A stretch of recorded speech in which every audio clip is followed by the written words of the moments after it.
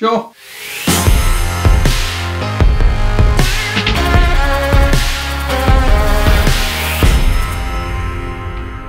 Hey everybody, how you doing? My name is Paul Lewis. Today we're going to be talking about request animation frame. But before we do that, frankly, I need coffee. Let's go make coffee.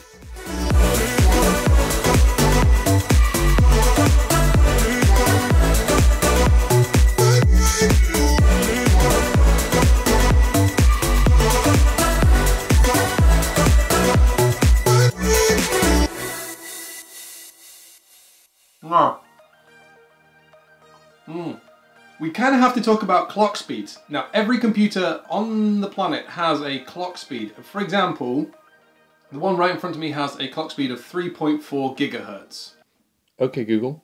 What's 3.4 gigahertz in hertz? 3.4 gigahertz equal 3.4 times 10 to the 9 hertz. Okay, Google. What's 10 to the 9? 10 to the 9 is 1 billion. Hmm. So hertz is the measurement that we use for per second.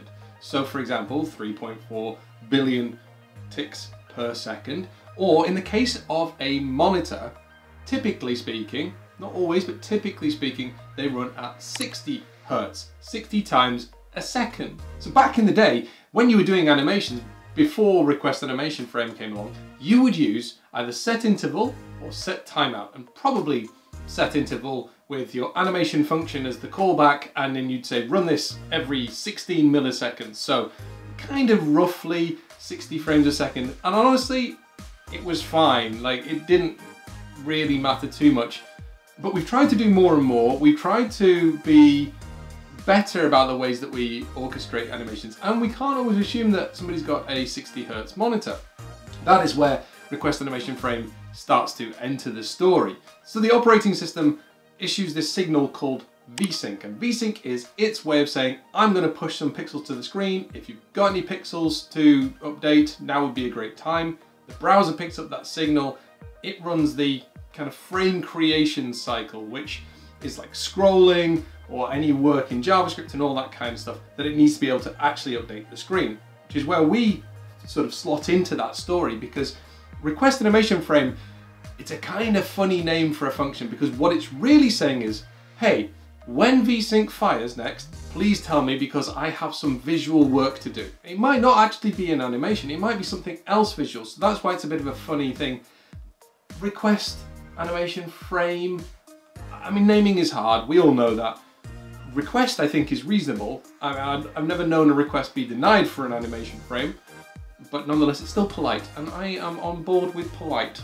So you're requesting almost like, it would be better to call it something like request vsync callback or request visual update callback. I don't know, oh, naming is really hard.